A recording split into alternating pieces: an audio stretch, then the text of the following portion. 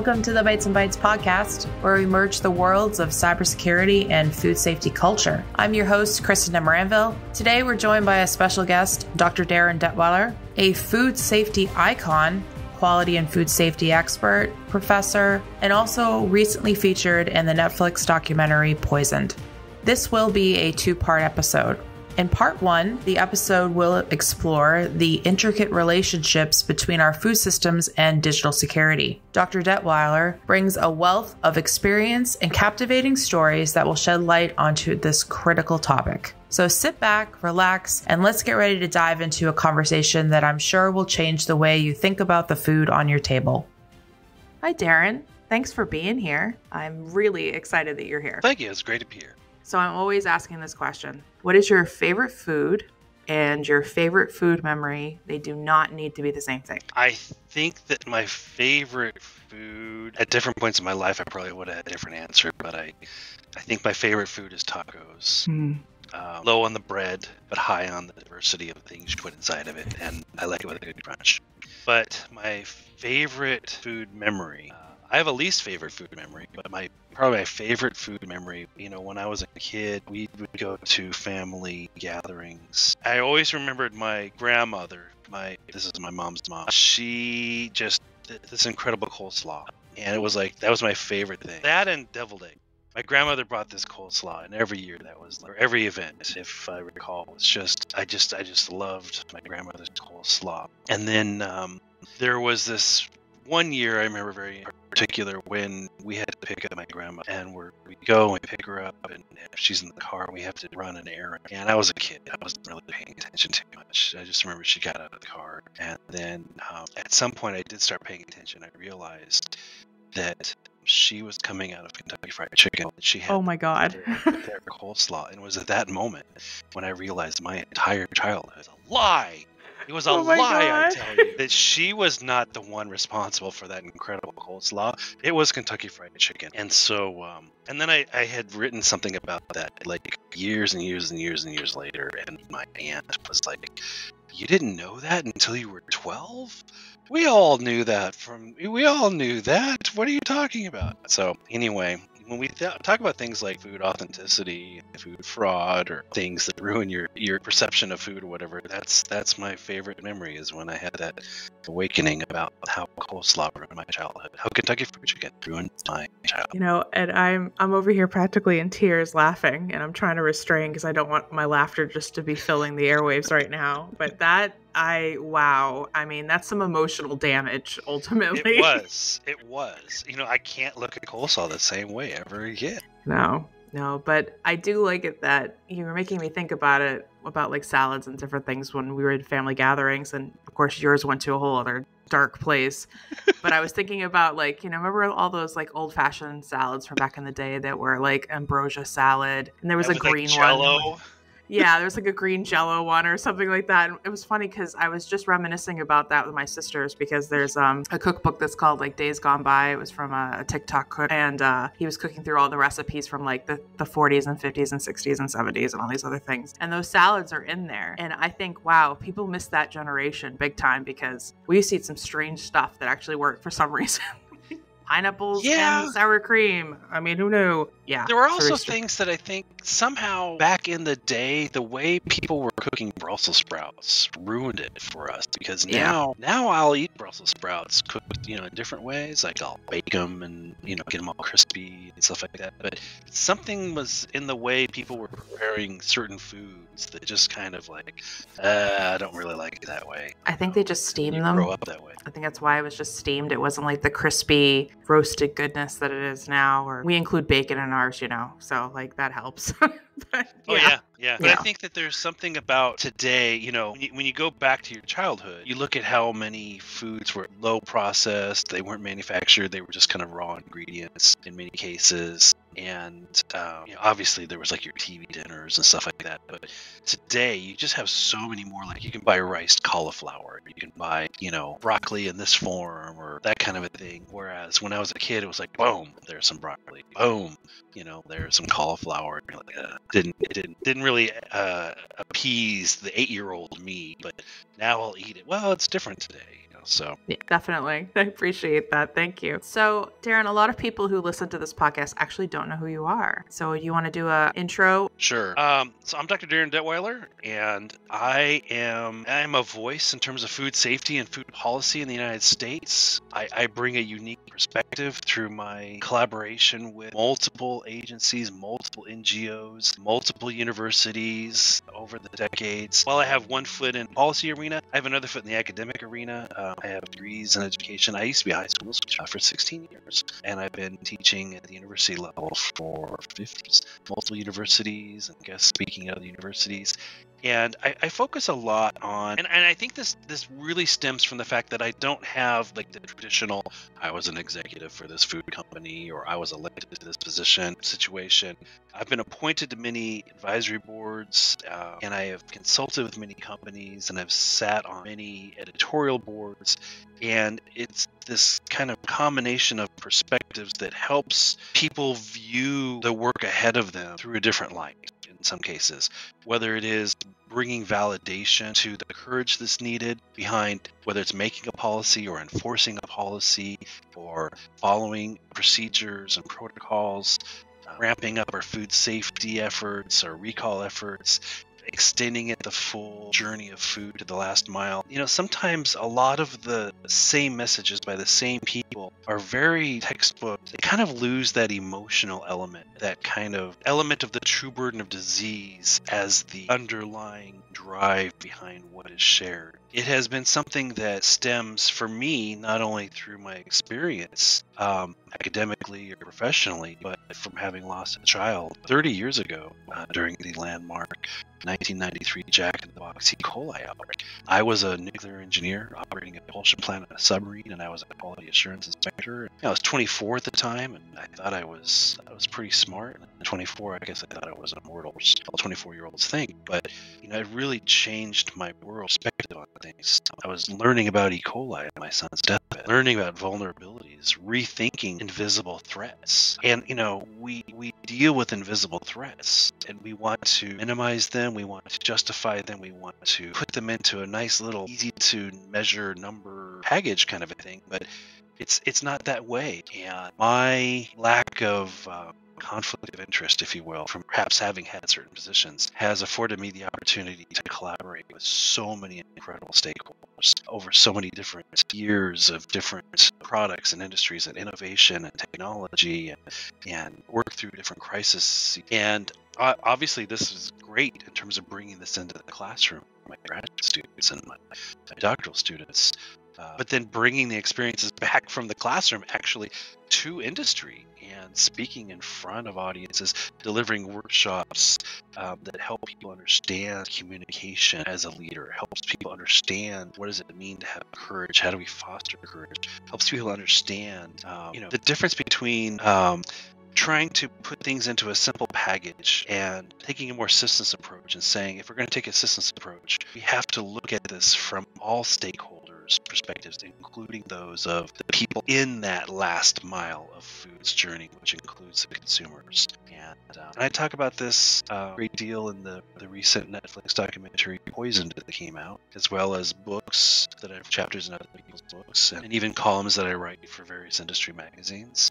And I'll just kind of sum it up by saying, you know, 30 years ago, if I were asked would I be doing this today, I would say oh, these issues would ought to be resolved by science and technology and policy. But if anything, I could say three things over the last three decades. Consumers are considered more as stakeholders today than ever. That there are incredible people who work to keep our food safe in many different capacities with many great tools and many great partnerships and many great efforts uh, around the world. But at the same time, the complexity, the complexity of our food supply has just grown. I mean, some people don't even understand the true complexity of our food. It's not just like it's a store or a restaurant. There's so many variations of stores and hybrid retail and restaurants today and third party delivery shopping and apps and food trucks and things delivered and food directly from the manufacturer. And there's just so many more points of of opportunity. There's so many there's so many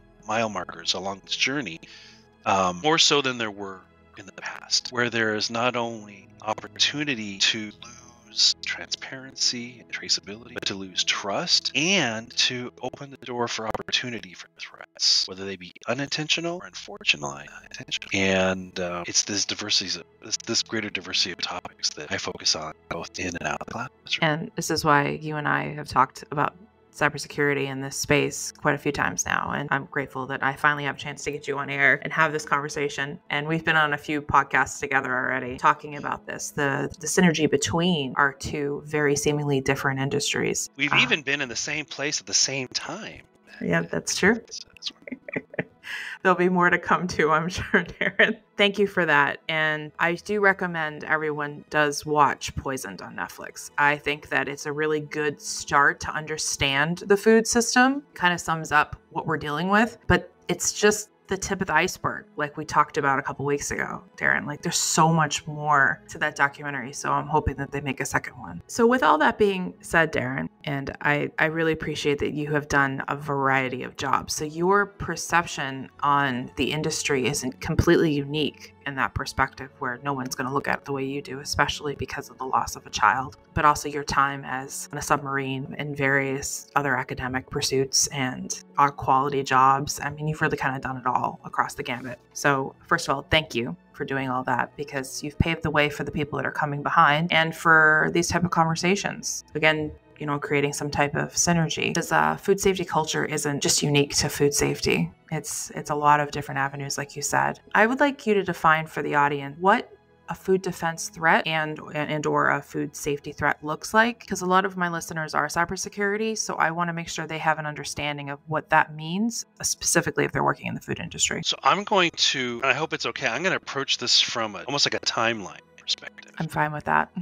so, in reality, and I don't want to shatter people's image of the industry, but in a way, consumers are just canaries in the. We don't talk about recalls or outbreaks or incidents for the most part. There's always going to be an exception. For the vast majority of all incidents, and I'm using air quotes, um, we don't do a lot of the work in terms of communicating, investigating, recalling, you know, all these things until after someone's been harmed. and when someone is harmed, either A, we say this a lot. Oh, I've got a stomach bug. I've got a stomach flu. It must be something I ate. Oh, it's a good reason to take off. This is probably the vast majority of fall incidents for a healthy adult. But in reality, not everyone reports to their doctor, to a health department, that they got sick from something, right? Not everyone who reports it gets tested to verify that it's salmonella or it's E. coli. Not everyone who reports it necessarily goes to the hospital or, or you know is, is tested right and even if you are tested it's found you have e coli it's found you know you're in the hospital you're being treated not everyone can actually find out what was the food that that, that triggered this? What was it that they ate? I know doctors who say that some of their peers are part of the problem. There are doctors who will say things like, "Well, what did you eat? What, what's the last thing you ate?" And there's doctors who have more experience in this who say, "No, look, it's either in the gut or it's not. You treat it. Don't look at it in terms of the last thing you ate because it's never the last thing you ate. It's something you ate two days ago, or you know, something like that, right?" So then you look at it in terms of okay, if we're at that point where we can say, here's a person who's sick, they're tested, it's lab confirmed, it's E. coli, it's salmonella, it's listeria, whatever it is, right? Then some 80% of people will never actually find out what caused it, right? Was it was it cross contamination? Was it undercooked meat? Was it you know what was? It? And there's all these different areas. There's food quality issues, which don't don't typically impact anyone. That's like how does food look, smell, packaging, you know that kind of thing. And then there's food safety, and here's where we talk about biological contamination this is your E. coli, salmon, etc. Uh, chemical contamination, such as allergens and actual chemicals, uh, and physical physical contamination like rocks, glass, rubber, plastic, things that. Or nature. like that frog they found in ice cream. Yes, that was yes. disgusting. If anybody's seen that picture, that was gross. Yeah, you know I've seen everything from glove pieces to you know, glass, plastic, the strangest of things, right? So that's the second cat, food safety. Food. Uh, the third category would be like your food defense. This is where you have economically motivated adulteration. You can have uh, food bioterrorism uh, or or deliberate sabotage kind of issues, and these take place far more often. Actually know about. Uh, probably one of the most famous ones. Well, okay, well, one of the most popular, if you will, ones was like the ice cream licker, the person who went into grocery stores a little while back and was opening the lid to ice cream and licking it, putting the lid back and going, good luck finding that kind of thing. But people don't often talk about what happened near um, Portland, Oregon, in, in the Dalles, Oregon, back in the 80s when this this cult basically went and they intentionally took samples of salmonella and put it into like a spray bottle. We're spraying it on salad bars. Back in the day, we had a lot of salad bars at, at fast food restaurants.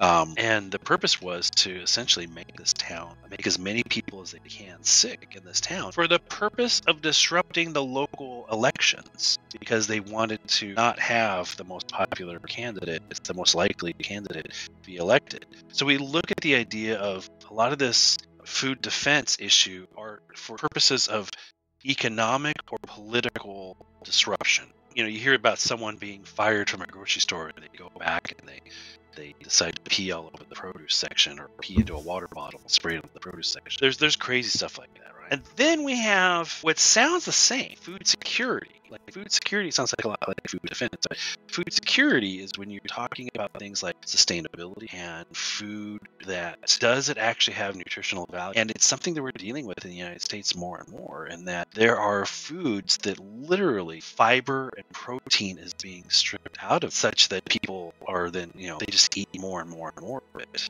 they think they're eating food, but they're not really eating. You know, they're not getting the nutrition they. Um, and then finally, we have food authenticity. This is where you have like counterfeit products, intentional mislabeling.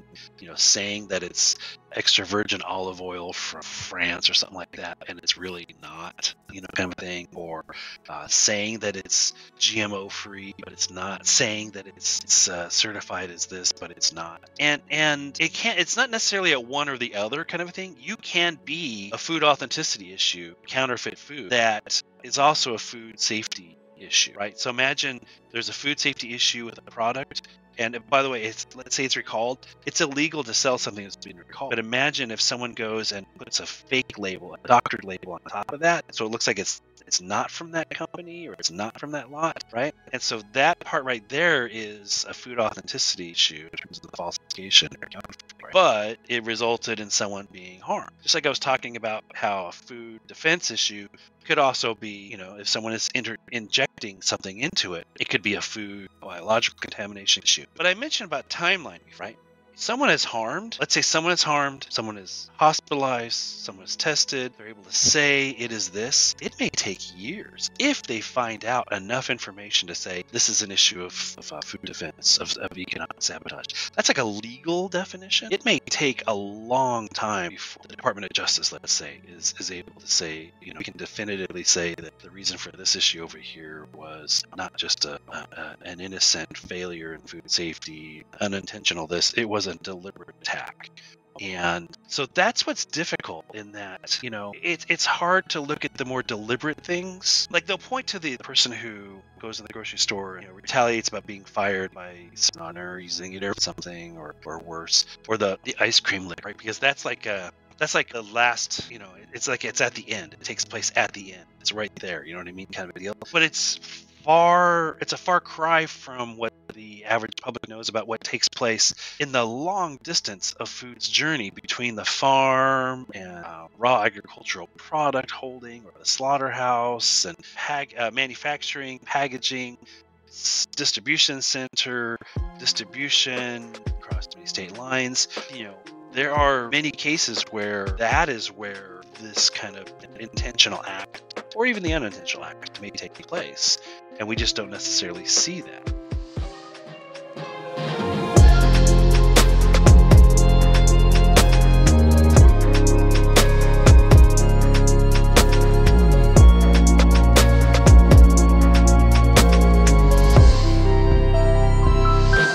Thank you for tuning in to the first part of this insightful discussion with Dr. Darin. I hope you're finding the conversation as enlightening as I am. If you're enjoying this episode, make sure to stay tuned to part two when we continue to unravel the complexities of cybersecurity in the food industry. Also, if you are enjoying this episode, please leave us a review and share it with your coworkers and friends. It means so much to have your support. Now, let's get back to the episode. It's a it's amazing to me in talking to cybersecurity professionals about food in general and how it, you know, we need to talk about it in real terms that they completely believe the propaganda from the marketing train that we still hand milk our cows and, you know, they live in red barns and they're happy and there's sunshine. You know what I mean? It's still it's automated. The documentary Poison showed automation of chickens moving around that people got really upset about. Um, but we don't know what was going yeah. on with those chickens, so it's probably fine. They're probably just moving them to laying. Like it's not a big deal. But we I even the way people, chickens were handled. Oh yeah, I talk with people who think that you know if they go to the grocery store and they buy ground beef that it's from one animal. Oh no, like that's that's crazy. And in some ways, I have to give it to that marketing machine that they've removed the humanity or the humane need for us to know what's happening we're so far removed from our food now that we have TV shows that are about that just because we find it entertaining. It's now become entertainment. When yeah. did we get there? But it's it's incredible to me that even as the professionals who work in this area are still just as unaware in a lot of ways because we just trust the food system works. And isn't it weird how that trust, right? The, the imagery yeah. with behind trust. You'll have, you know, you'll have the dairy industry that'll show you, you know, images of here's the farmer and and they're milking the cow and it goes into the bucket and then they pour that bucket into a jar kind of a thing. And of course, there's a whole issue between pasteurized milk and raw milk. Yeah. But um, um and then yeah, you had TV shows, I believe, in the '90s. They were like reality shows, and it's like they would take people from the city and put them out in the farm, and it's like you know go milk a cow and and like oh my god you know and and uh the and then like drink the milk. Oh my god. It's like wait a minute where do you think where do you think this comes from? You know why are you surprised that that milk comes from a cow or that you know um, fill in the blank food comes from fill in the blank this source uh, kind of a thing it reminds me of that joke in the Addams Family movie. The lemon cookies are they made from real lemons? Of course. If I'm selling Girl Scout cookies, are they made from real Girl Scouts? Um, uh, or like Dino Nuggets. I remember my boys when they were very young. I had to explain to them that Dino Nuggets were made from chicken, not from actual dinosaurs. I, I think that we have these barriers because you know, and it's why we you know we we we see a pig but we eat pork right mm. we see a cow but we eat beef we, we put up these barriers, both definition wise, mental picture wise, and even distance, you know, in terms of what we eat and where it actually comes from. Yeah, it's it's really interesting that we've done that as a society and globally. That's not necessarily just limited to the states. It's global and how disengaged we are from how things are produced. So it's almost like a shock when you find out that it's completely different than you expected and and then it's automated it's highly automated and there's a lot of robots and there are still a lot of humans and there's still a lot of processes that are digital and i think people are just like wait what? Like what is happening? I thought this was just really um, analog and i thought it was really human and don't get me wrong there's still a lot of places that are are analog in some ways but it's crazy. And how do food security or we'll just say food protection to blanket it because you did a great job of explaining all of it. How does food protection deal with this new digital frontier that could potentially and and if it hasn't already because we've already established that Darin that we don't know what we don't know right now completely alter the safety of our food. Well, this is one of those stories where you you look at food and its reality of, of how it's made, right? Mm-hmm. You know, we are looking currently at the idea of traceability issues and transparency issues today, and the idea that a, a, new rule from the FDA within the Food Safety Modernization Act is basically saying that by a certain date in the future, there should be better awareness of where all the ingredients came from. And there are industry stakeholders right now that are freaking out about the idea of having to collect and store and even distribute that information. You know, we had a lot of talk about blockchain and blockchain as a way of encrypting information and sharing information with authorized access, uh, you know, can allow for, let's say, a recall to be faster because we can find out where it came from greater speed. But within that space, in talking about blockchain, and of course, we don't talk so much about blockchain now. In the bigger picture, we just kind of rephrase that. We just talk about it in terms of greater digital transparency and digitization. You know, there's entire companies that, that they'll digitize their sales, but they won't digitize their their food side of things. And I have been I've been at events where I'm speaking before an audience. And a there are people with the purchasing power and the decision making powers of companies that'll say things like, "Well, we don't want to adopt it until many other companies have adopted these technologies because we don't want to be you know the first to adopt is the first to be crucified because people find out too much information. And then there's conversations around well look we're just going to wait for a while because you know, we want to make sure what we're getting into. We're not going to do anything until, you know, we're ready to be sold on the idea of digitizing this, right? And I'll point out that, okay, well, you can't just buy a digital solution on Friday and flip the switch Sunday night and Monday you're ready to go.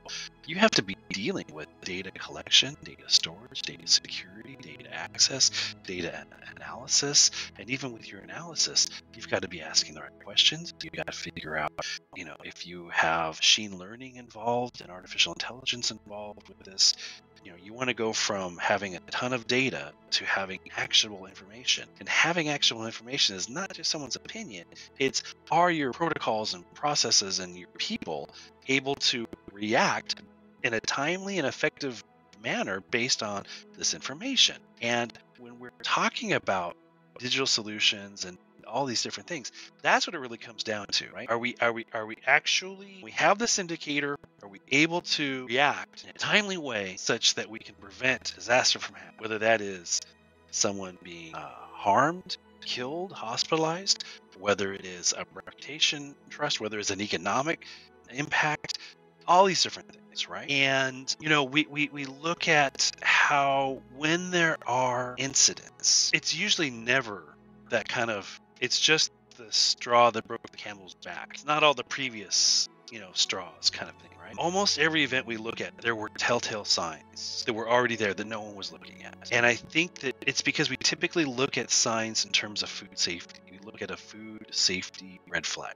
Today, we're in a world where we're moving more and more towards ESG, environmental social governance issues. And we start looking at those red flags. Now you can start to see, well, there was a red flag over here. That doesn't necessarily mean that it's going to result in safety failure. But if someone is willing to have overlooked their rodent infestation problems or to not follow uh, child labor laws due to really relax their security issues because it was more economic for them.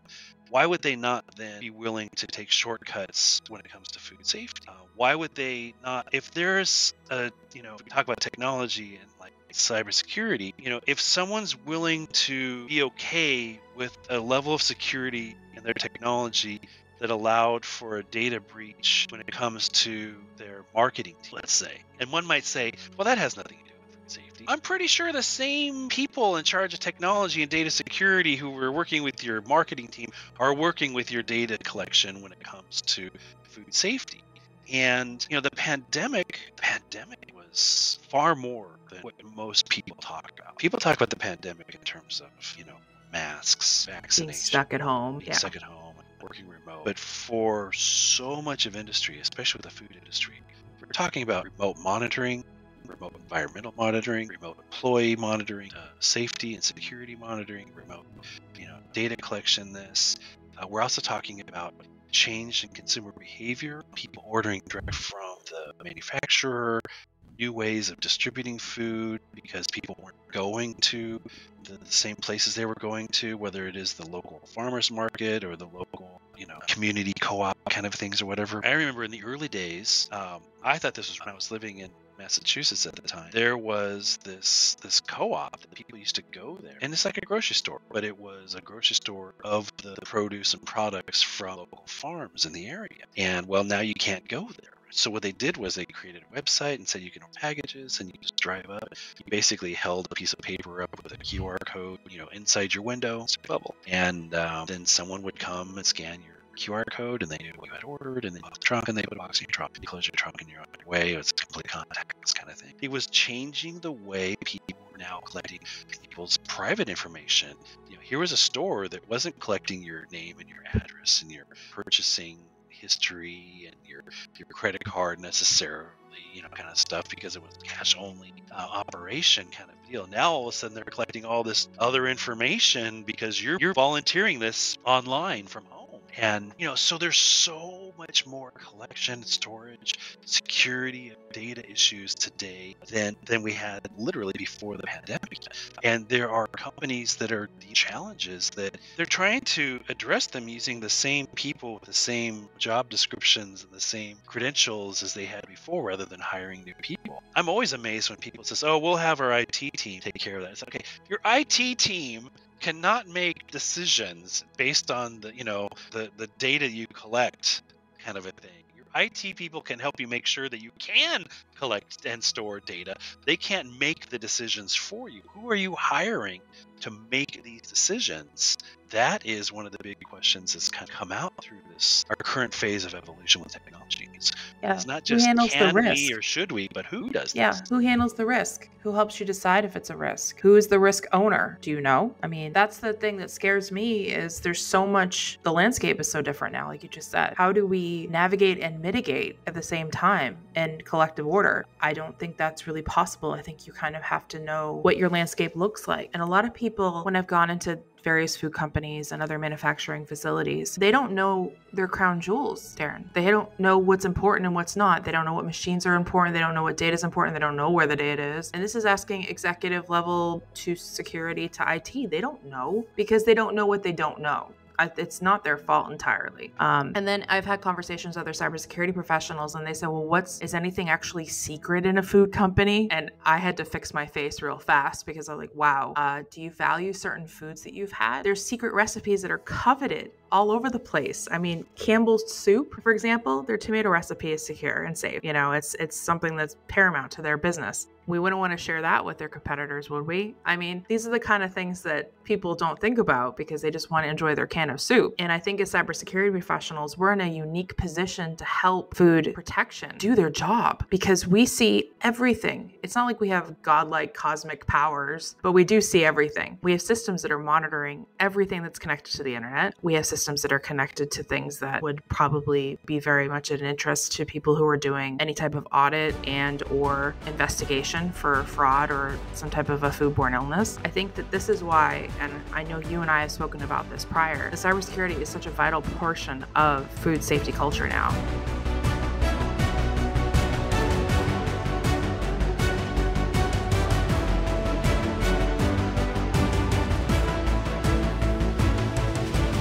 We come to the end of the first part of our discussion with Dr. Darin. Remember, this is just the beginning. Part two of our conversation will dive even deeper into the world of food safety and cybersecurity. So make sure to subscribe to the podcast so you don't miss out on the continuation of this discussion.